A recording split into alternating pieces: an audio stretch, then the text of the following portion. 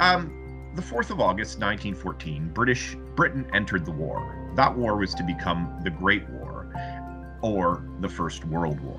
It is often quoted uh, that the period changed the status of women in Britain forever.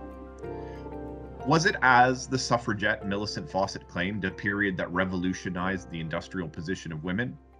It found them serfs and set them free? Today, we're going to examine how significant women's war work was in winning the vote for women over the age of 30, who, of course, qualified due to their ownership of property um, or their marital status. Or was the end of the war back to the kitchen when the men came home? 80,000 women served in the armed forces in the First World War as non combatants. They worked as nurses, ambulance drivers, and munitions workers. Some seven and a half addition, million additional women would work in the war effort by 1918. Today, I'm joined by Paula Kitching. Paula is a historian writer specializing in war, genocides, and cultural history. She's written for educational publications, books, museums, and websites. As a freelancer, Paula has advised, initiated, and led projects on the Holocaust in the 20th century and uh, on the Holocaust, 20th century conflicts, and minority and ethnic histories. She's worked for the Department of Education and Skills, the Royal British Legion, the Historical Association, the London Jewish Cultural Center, the Association of Jewish Ex-Servicemen and Women, AJEX, and Believe in Me. For over 15 years, Paula has been a history guide and continues to take groups to the Western Front, Normandy, Krakow, and Berlin. Recently, she's led the Royal Air Force Centenary Project, RAF 100s and 100 in schools, um, an RAF funded project for the Historical Association working with the Institute of Physics. For the last three years, and continuing, she's been the historical and project manager for We Were There Too Jews in the First World War and for the last year, the historian and educationalist on Journeys Home, South Asian Servicemen, and the First World War. She continues to work with the Historical Association, We Were There Too, AJEX, and projects on Indian servicemen. In February 2019 her, 19, her new book, Britain's Jews and the First World War, was published. Welcome, Paula, and thank you for taking the time to be with us today. Thank you. Thank you for inviting me. It's our, indeed our great pleasure. You've uh, you've been a great friend to the college, and um, it's always lovely to have you here. Now, Paula, let's start by let me throw a question at you. Please do. In the immediate term, what kind of opportunities did the war open up for women? It's an interesting balance because you can't separate the war from the sort of movement that was already happening so the suffragist movement had, you know, really started to build up in the 19th century. The campaign for civil rights as well as women's rights was already pushing harder and harder. By the time you get to the start of the 20th century, you know, there is an increasing amount of pressure. Now, we'd also know, of course, that despite that pressure and gathering of support for women and other uh, groups within society, uh, that actually those civil rights, women's rights, were still being denied in Parliament. So there's, there's no getting away from that.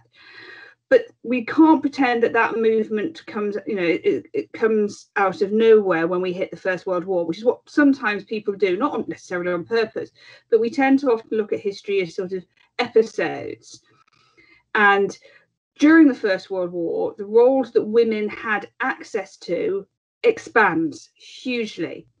But as I say, that's not because that pressure hadn't been there before. It's just that now there is a pressing need. So, if before there was a desire for women by women and other members of society sometimes as well to get them into certain posts, there was also an overwhelming pressure to stop them. What happens now is there is a bigger pressure again, and that pressure is this, this war, this conflict, which has made uh, the pool of men able to do certain jobs gone. That's dried up. Young men who are fit and healthy are being shipped across the world to do their service elsewhere. It takes uh, other people out of the workforce because they now have to fill those holes in other ways. So women now are able to step into roles that they may have wanted to step into before. They are also required, desperately required to step into roles. So there is, is a massive expansion of opportunity for women, but the pressure to create those opportunities we're already building. It's also worth you know remembering, and I always point this out, that when people talk about women's employment during the First World War and women now working in factories, women always worked in factories. You know, we have a history of women in industry and other areas of work. Mm-hmm. Um, the term working class women gives you an idea women mm-hmm. worked. But what we see during the, the First World War uh, is the range of opportunities expands, the types of women that work changes. Now, that's also very significant. Uh, and the areas that women are uh, comfortable in and skilled in also expands. So there is a change. It is huge in many ways, but it's also the result of the other factors as well in build up. And I just think it's important to put that a little bit into context before you then examine what changes and, and what happened it's an interesting point you make because you talked about the fact that particularly with working class women that that there was you know a familiarization with with the industrial life um, would how prepared they were to undertake the jobs that they had to do during the first world war be largely dependent on their background yes absolutely and again we've got to put some of this into context working working class women worked outside the home in paid employment, but working at home was also, you know, a huge task. I mean, we now talk about, you know, work in the home and, and believe in, in 2020 and 2021, many have felt working in the home is, has its own weights and burdens. But we're talking about working the home at a time when you know there are none of the labor saving devices or very few of the labor saving devices that we have today where families are big. You know birth control is, is not a factor. So working class families will often be large families with large amounts of cooking large amounts of cleaning so even if you didn't work at, outside of the home and you worked in the home your work would be laborious and and difficult and time consuming and the further you went up the social scale the more likely you were to have somebody assist in that. And that includes actually some of the, the upper elements of what we think of as working class. You know a working class household that was doing well would mm. employ somebody to come in at least part-time to help with that mm. that household burden which was huge mm. so it's a it's different kinds of work that people were able to do having said that again in industry lots of women now work in uh, areas of industry that they hadn't gone into before. They work in skilled requirements, and that was one of the things that was different about this expansion, mm. was that women had often been asked to do low-skilled, low-paid work.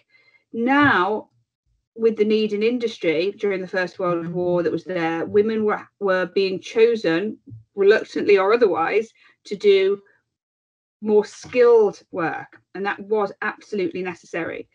It's also worth recognizing that because it is different classes that will go into this, the middle class women will also go into this. They'll go into it because they're required and because the opportunity is there. Now, the middle class women will take up a range of chances, opportunities, some requiring and sh- showing the education they have, which is absolutely crucial.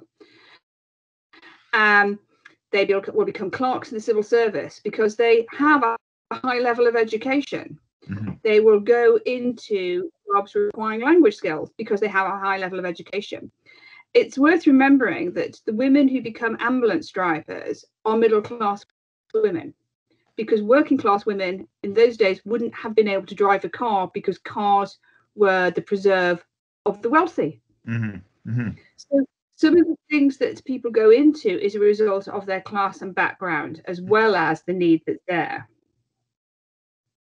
it's interesting. Let, us break that break that down and talk about the two different uh, uh, spheres that open up. So we'll talk about military work but let's stick on an, an industrial work for now. The trade union movement was massive in britain at that particular time. Um, was the traditional trade union movement an obstacle to progress for women, or was it a, a something that they welcomed this new opportunity um, and they welcomed this this this um, change in the nature of the workforce? It was it was variable. Um, you know, there are trade unions who have been working and acting on behalf of women and women's pay and women's uh, safety in factories for decades. Um, but Britain, I mean, I always say this to all my groups whenever I start, uh, and you read out my CV, so you know the kind of work. I'm, Britain in 1914 was sexist, classist, racist, and there's no point in us ever pretending otherwise because then you're doing a misfavor to history. It, it is what what it was then. Those were the attitudes were there. And that applied very much across the board to what women were allowed to do. Now the trade while some trade unions were supportive of women's rights and women's access to work many were run by men for the reason the protection of the men that they employed it was a deal done in many factories that women would only be allowed into those factories to, to cover the war work, that once the war was over, they would be removed. Mm. And the men would return would be given their jobs back. And that occurs in lots and lots of places mm-hmm. during 1918, 1919, 1920. Um, and we see some of the more uh, progressive factories, often belonging to the Quaker, you know, to Quakers, where they actually have done these similar deals, but actually after the war realised that there are women whose partners have not come back, mm. and therefore they rely on this work to be able to, to feed their families, their children, or their partners have come back and are no longer capable of returning yeah. to their job. Mm-hmm. And so you see certain factories uh, introduce a sort of post-war sliding scale. Yeah where depending on your needs you you don't but there was very much an attitude after the first world war that that's it women are done now off they go the trade unions they want the men back in the work so the trade union movement was mixed mm. it wasn't quite as unified as we think about it now it was very mixed and it was very much dependent on the, the circumstances the factory work the areas of employment and who was in charge mm. It's really interesting. Now let's let's go to the other side. Uh, let's talk about women who served in the armed forces. I had mentioned in the introduction that there were approximately 80,000 women who by 1918 had served in some capacity as non-combatants in the British Army. Um, can you elaborate on their roles and maybe perhaps talk about how close to the fighting they came? Well, again, it, it's very it's interesting. You know, back in 1914, uh, a number of, of the suffragists, in particular some of the suffragettes, had s- said that women should be allowed to serve in the armed forces, and they were pretty much laughed out of Whitehall. Mm. Um, of course, by 1917, everybody's changing their mind on this because they need more men at the front. And why on earth are you having men acting as clerks when you could have women doing those jobs? Why are men acting as cooks when you could have women as those jobs? Yeah. So there is a variety of work that women have done. But it's also worth pointing out that in 1914, there was already one section of the military that had women in it. And this had been formed far earlier. And this was an organisation called the Queen Alexandra Imperial Military Nursing Service. And that had been formed just after the start of the 20th century with the specific purpose of having professionalised nursing close to uh, the war, war zones. And the Queen's nurses were considered the elite of nursing. For example, you could only be a Queen's nurse if you already had three years worth of medical training. Mm. Well, in those days, you know, there's no NHS. So the level of medical training you get in a hospital is dependent on whether or not you can go to one of work in one of the best hospitals. So again, we're talking about top of working class, middle class women. Okay. Um, so the Quins exist, and the Quins exist in 1914, like every all the other parts of the armed forces. They are massively understaffed and have to have a huge recruitment drive in 1914. Uh, but they don't drop their standards. They're very snobbish in their attitude. It said quite clearly they had to be women of, a, of good character from respectable homes, you know, right. as well as their three years worth of already training so these women are professional nurses with a lot of skills, good backgrounds as was considered then, and uh, they were already working with the military. So these are professional nurses. They were sent straight, you know, straight to the Western Front. They're women, Queen's nurses are on um, hospital ships off the edge of the Dardanelles throughout the campaign. There, they're in uh, in Egypt to deal with the Middle East campaign as I say, they're all along the Western Front. You know, and prior to that as well, these nurses had served all over the world at various points. Some of them had served all over the world with with the British Army. So there is a presence of a female presence, mm. but it is in a very specific role. Mm. What we see in 1917 is an opening up or again of the roles. It's also a bit like it mirrors the rest of society, really. And we start seeing that women are given other kinds of jobs. So they will become cooks, they will become um, cleaners, but they will also begin to be clerks and they will pick up other bits of posts. Now we know that because we have the photographic evidence, we know that in certain places, such as RAF bases, they'll do um, basic engineering work. You hmm. know, we know that they will be fixing um, rotor blades on aircraft. They will be employed doing anything actually that they are needed to do. Mm-hmm. So a number of, of things open up. What they cannot be, and of course, rather interestingly, again, we have sometimes short memories, what they cannot be and won't be for decades to come is allowed to be combatants. Yes.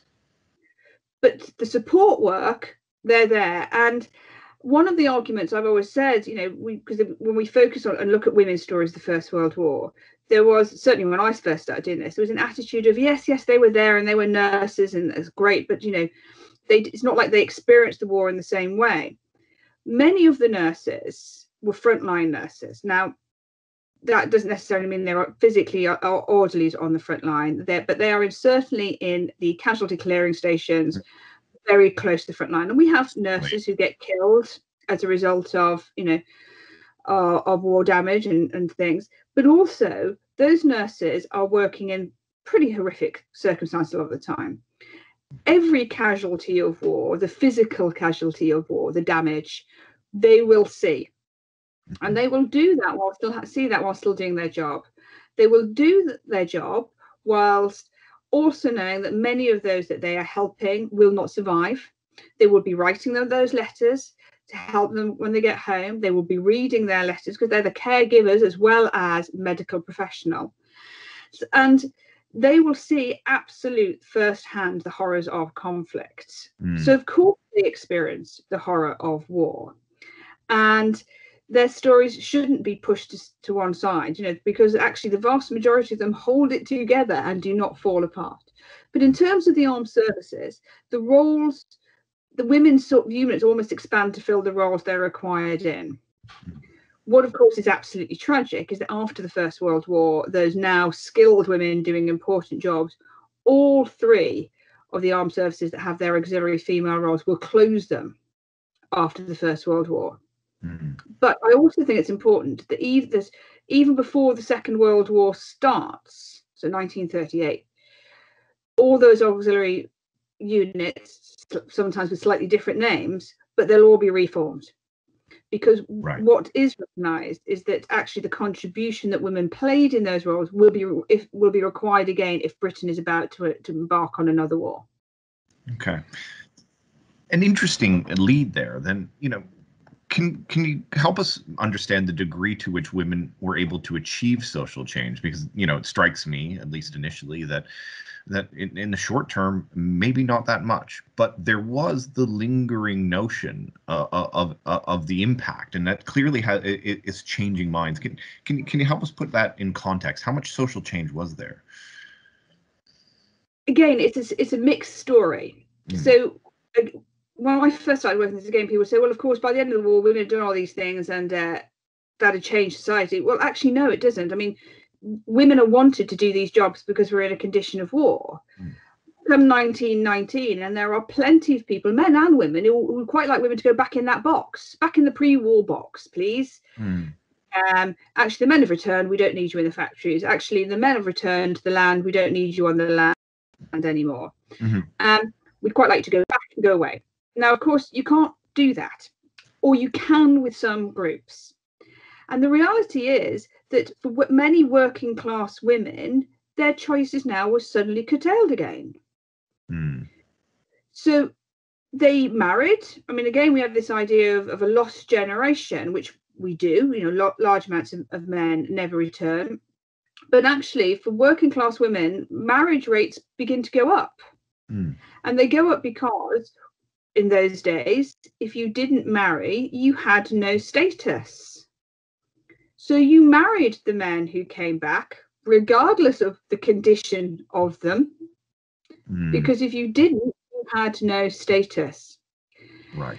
So we see, especially for that group of women, not dramatic changes actually in many ways. It will take another generation, it will take their daughters or nieces mm. to say, hang on, if you worked in the factory then and had this freedom, why can't I have that? So it'll take another generation. With the middle class, you have a slightly different approach, which is middle classes, because so many middle class boys have become officers, mm. and officers had such a terrible success rate in survival in many ways. So, so for example, uh, on the first day of the Battle of the Somme, which is probably the most famous first day of a battle in British military history, and we have 58,000 casualties, resulting in 19,000 deaths.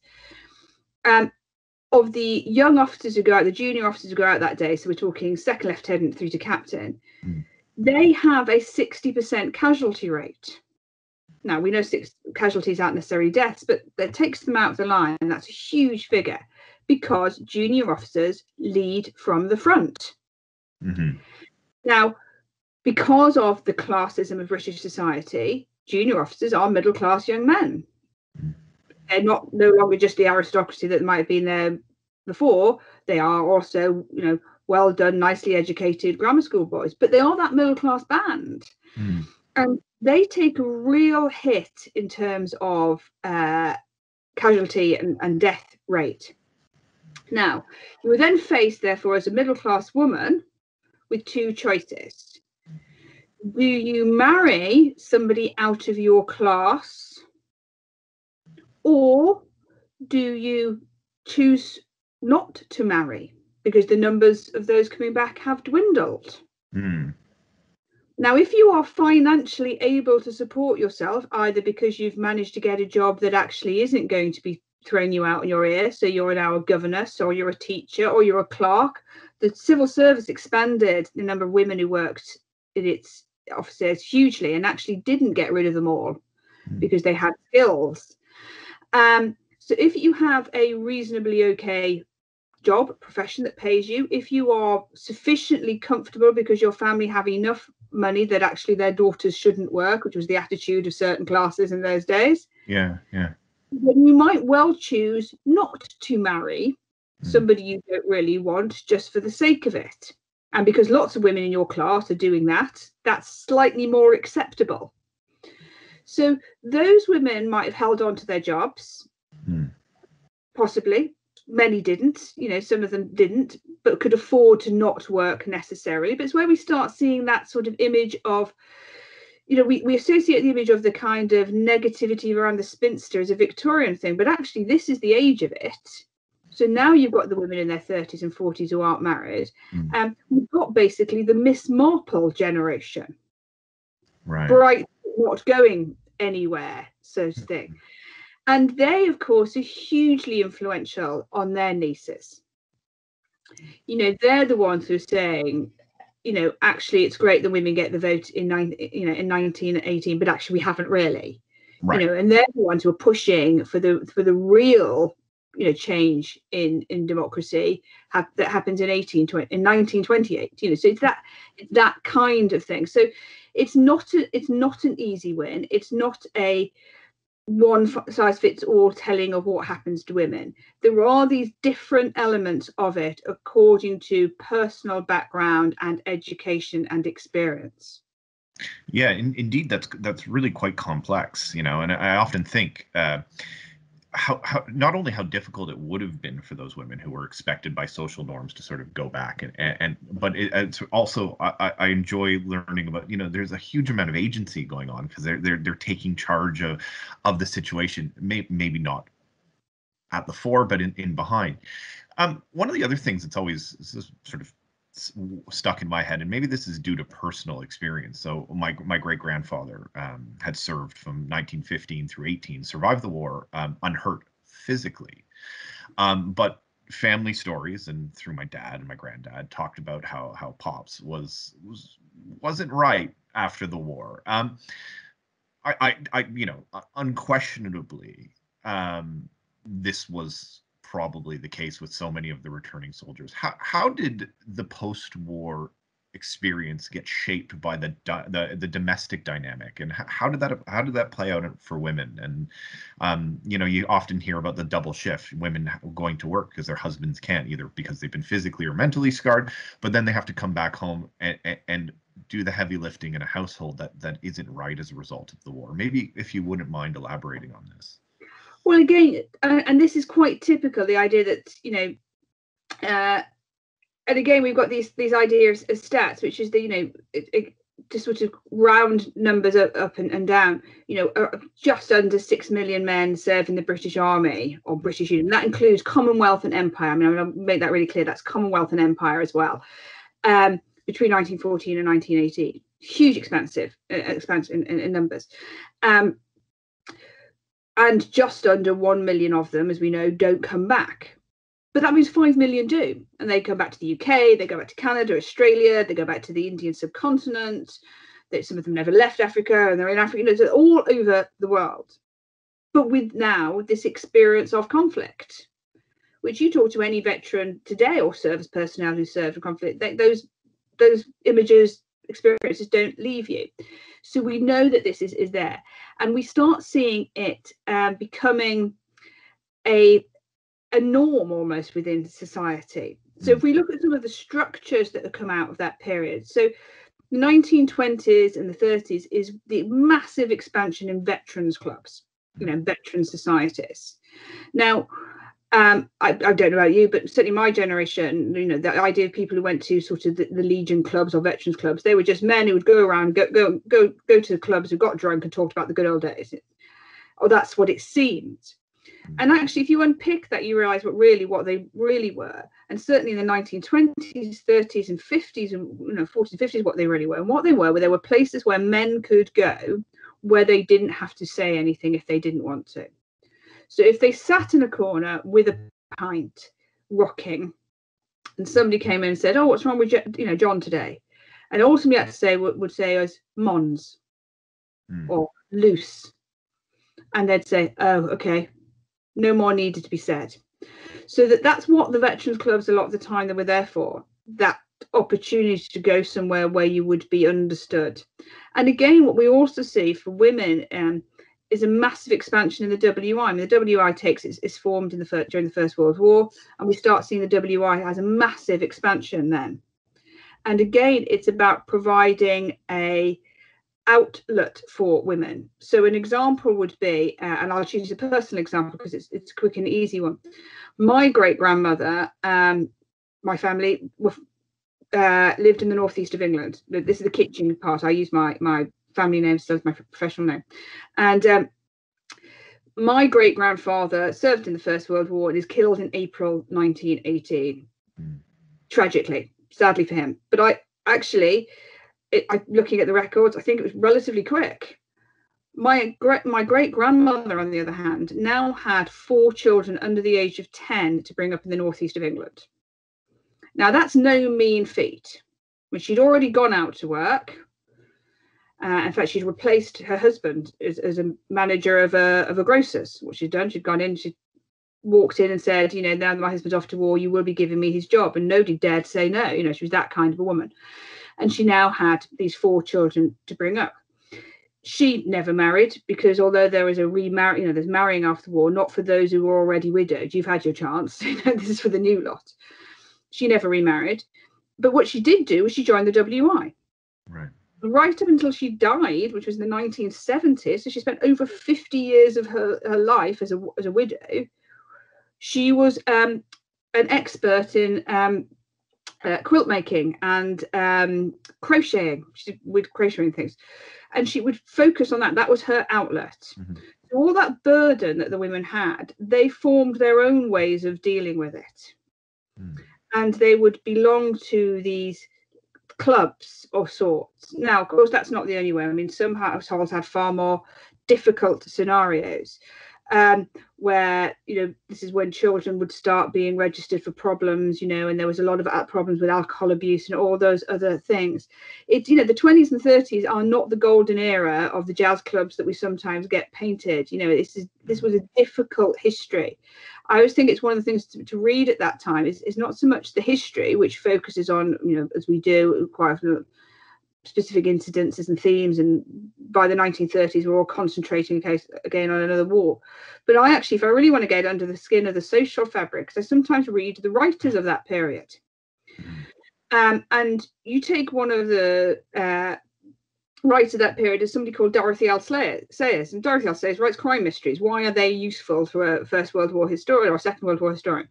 And they're useful because she doesn't she's writing at the time she's not writing to tell the story of a conflict a lot of the time. She's writing about the 1920s 30s and in many cases her stories will have people who are bruised battered hurt by war not because she wants to tell their story but they are almost incidental. They are the fabric of the world she lives in. So sometimes to get a grasp of what it was really like out there we need to read beyond the history books to what was then contemporary affairs Mm.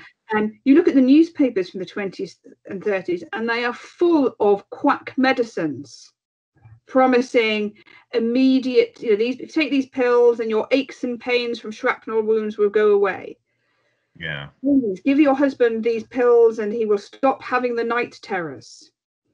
Uh, there were, you know, there are these, uh, there's this whole way of life that is becomes normalized that we've almost forgotten about. Mm-hmm was certainly normal for that generation. And whilst you know we, we concentrate on the war memorials, it's actually it is the, the five million who return that I think probably I, we would like to do more about. But I know as a historian, they're the ones most difficult to research because I can tell you who died because we pr- made a promise and a record to keep their memory, their name. But finding the five million who return and what happens, that's much harder because they become the old man who lived down the street. They become the a guy who in the 1930s was obsessive about not going back to war. And the reason they were obsessive, and you know, again, sometimes we need to know this fabric of, of, of experience. You know, why were people so keen to avoid war in the 1930s? It's not necessarily because they thought Hitler was great for a lot of people. It's because they were determined to not throw another generation into war. Yeah. Because they'd experienced it.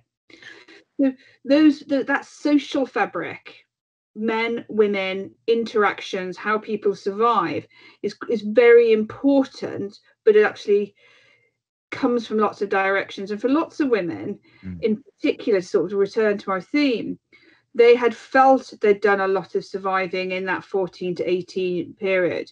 Here was just the next burden of responsibility to do it.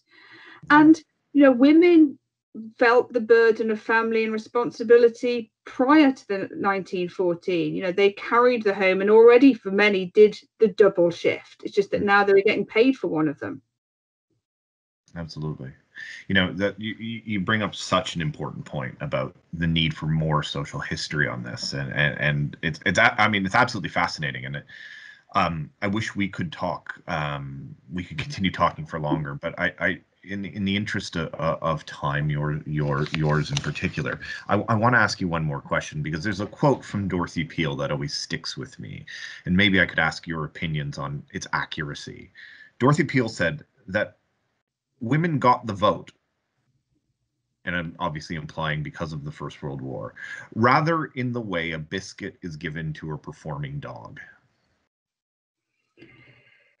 Yeah, like it carries so much weight to comment like that. Mm. And I and I look at it from a different perspective. Women weren't given the vote so much as the arguments used to prevent them from having it no longer stood up. So the arguments that so many men and on occasion women had used prior to the First World War had been women don't understand politics enough, they don't contribute in the same ways that men do, they're not bright enough, whatever it was that they were accused of not being. You couldn't say that after 14 to 18. Now, the suffragists, the suffragettes had both been saying that for decades. So the suffragists had been saying it for decades. But now there was this evidence pool. You can't say a woman isn't contributing when you've just seen millions of them step up and do men's work. You can't say that women haven't the intelligence to do X when they've just been delivering Y. So the arguments that were used to prevent women voting didn't stand up anymore. That's how I look at it, rather than saying, here's a little reward, please go away. Mm. Because actually, it wasn't much of a reward. I mean, start, but it's not, you know, you know in 1918, um, in the in the Representation of the People's Act, women, certain women get to vote. But now all men get to vote. Now that's great for the civil liberties campaigns that have been going on. Mm.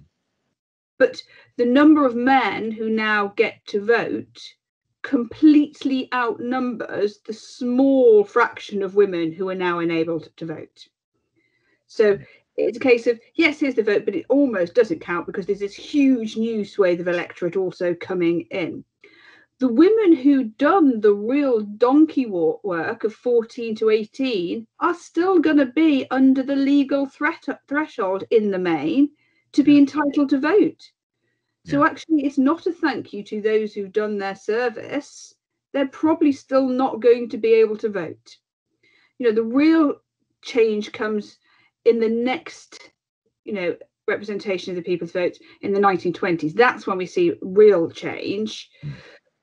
I'm not saying that it's not important the change we get with the representation of the people's vote because it is, but it's not it's not the big thank you it can sometimes appear to be. And the idea of, you know, giving a dog to a biscuit, there is an element of not so much I don't see it as reward as keeping them quiet. Okay. You know, you can now be quiet because you got what you wanted. And hopefully you won't notice that actually you haven't got what you wanted at all. Hmm. Fascinating. Paula, thank you very much. Um, this was incredibly interesting and incredibly useful, um, particularly you, you, not only your thoughts on on on women, but your thoughts on the importance of social history research. Um, we touched so many so many bases that um, I'll, I'll, definitely have to, um, of course, if you wish, um, have you back again because I would, of course, like to explore your other interests, particularly Jews in the First World War, which you've recently written on. So, um, let me just conclude by saying a huge thank you um, for just, uh, uh, staying with us today, and hopefully we'll have you back to talk about um, your other interests because um,